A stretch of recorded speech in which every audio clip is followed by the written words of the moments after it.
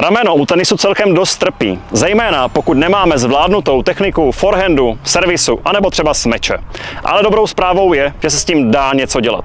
Jsem Zdeněk z tenisového blogu a dnes si ukážeme snadné cvičení, které nám může od bolesti ramene pomoct. Samozřejmě pokud se nejedná o nějaký závažný zdravotní problém.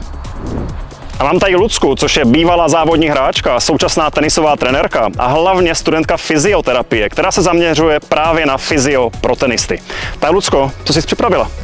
Připravila jsem si pět jednoduchých cviků, jak rozcvičit rameno před tréninkem. Tak pojďme na to. První cvik je takový, že stojím bokem ke sloupku, kde mám upevněný expander, chytnu expander do levé ruky. Loket držíme u těla a ramena tlačíme dozadu a do a provádíme pomalý pohyb od těla. A jako u každého cvičení je důležité dýchání. S výdechem jdeme do zátěže, jdeme do původní pozice. Druhý cvik je v podstatě stejný, jenom teď půjdeme tím expanderem k tělu, takže opět loket u těla, narovnaný záda, jak mě ukazuje Lucka. A jedeme loket do pravého úhlu. Loket do pravého úhlu a jedeme expanderem k tělu, pomalým pohybem Další cvik je podobný servisu, opět stojíme mírně rozkročené nohy, ruku s expanderem dáme nahoru, tady mám pravý úhel, tady mám pravý úhel. A pomalým pohybem před loktí jdu dopředu.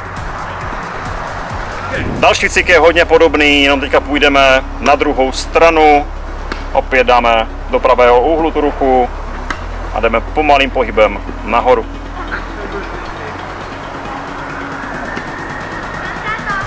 Poslední cvik je asi nejnáročnější. Děkuji Lucce, že to tak geniálně vymyslela. Přišlápnu si expander, narovnám záda, tlačím lopatky a ramena dolů a dozadu a pomalým pohybem jdu s expanderem nahoru. Dávám si pozor, aby nešel příliš vysoko. Toto už je chyba.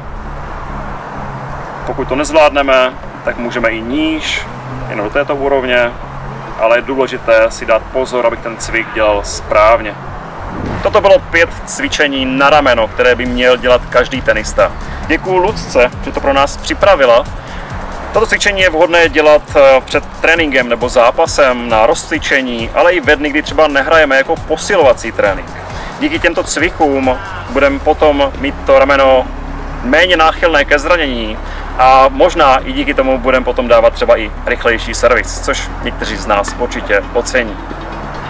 A toto cvičení, nebo tyto cvičení s expanderem dělají světoví hráči jako Nadal a Djokovic, takže nejspíš to má nějaký smysl. Přece jenom nemládneme a potřebujeme se o to tělo trošku starat.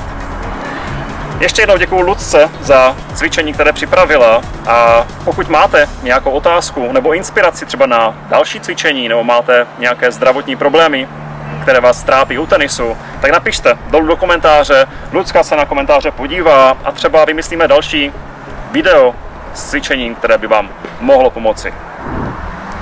A pokud se vám video líbilo, tak ho lajkujte a sdílejte, budu vám moc vděčný.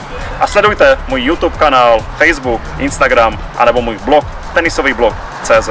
Tak se mějte, buďte zdraví a čau.